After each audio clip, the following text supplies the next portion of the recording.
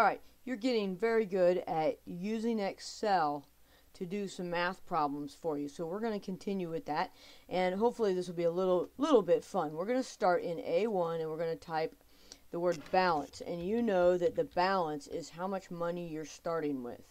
Okay?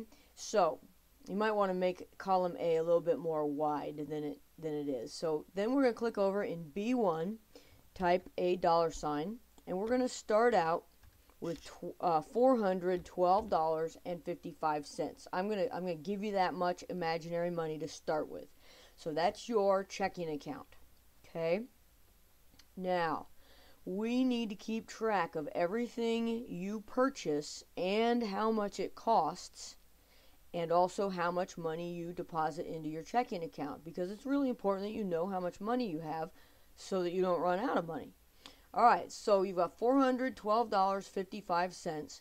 And let's say that you need to buy gasoline for your car. And as you're probably aware, gasoline is kind of ridiculously expensive. So we're going to put in gasoline. Don't put gas because gas is actually a different thing than gasoline. So we're going to put gasoline. And um, I found gasoline fair, uh, a little bit cheaper this morning, so I got a half a tank. I already had a half a tank, so I filled up. And when I filled up this morning, it cost me $24.35 for a half a tank of gas. $24.35. So now I want to know what my new balance is. So I'm going to type balance in because I want to subtract what I spent from what I had. Okay, so you know that we're going to click where we want our answer and click equals. Now we don't want to put four $412.55 minus 24.35. We want to use the cell names. So we're going to take what I started with, my starting balance, and since I spent money, this will be subtract, so minus um, how much did I spend. That's in B2. And then hit enter. And I know that um, I now have $388.20. Okay? So, let's say that um, after school, uh, I needed to stop and buy new running shoes. And my particular running shoes are fairly expensive, but they're really good quality shoes.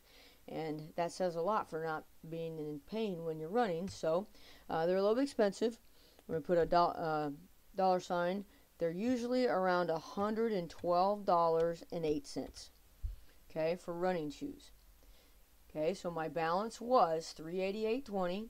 I bought running shoes, and now I need to know my new balance.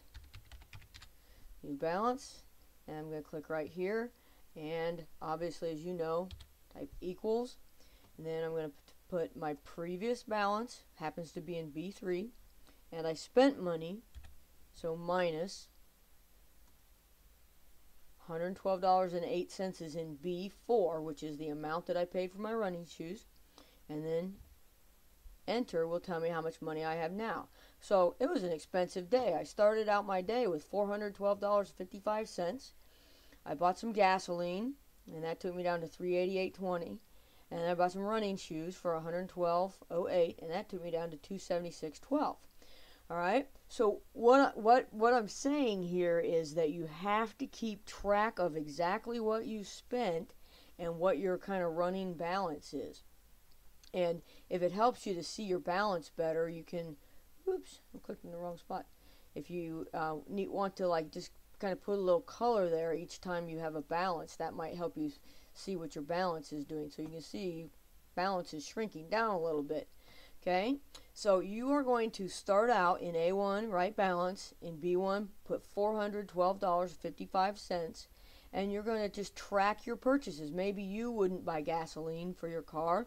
Maybe you would buy the new Halo game, or maybe, I don't know what you would buy, but after every purchase, you need to then put balance and then figure out your new balance in your account. Okay, so in this project, you need to make seven purchases, but you can only have two paychecks. Okay, so like we're going along after I bought my running shoes, let's say I got a paycheck and let's say my paycheck was has to be less than $500. So let's say it was $465.72. Oops, I typed that wrong. 72 cents. Okay. Well, I had $276.12 and I added to that. So our new balance, you're not going to subtract because you you're adding. Uh, wait, if I could type, there we go. Because you're adding money to what you had. So for a paycheck, you would then go equals this plus this. All right. And so now we're up to $741.84. You need to make seven purchases and only two paychecks. So you're going to have to watch what you buy.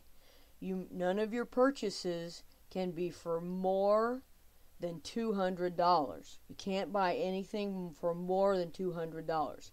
And your paycheck cannot be for more than $500. Okay? You need to buy seven items. None of them can be for more than $200. And you're only going to get two paychecks. And the paychecks cannot be worth more than $500. And you, you can't go in the red. You can't have like negative negative money because that's a very bad thing. Okay?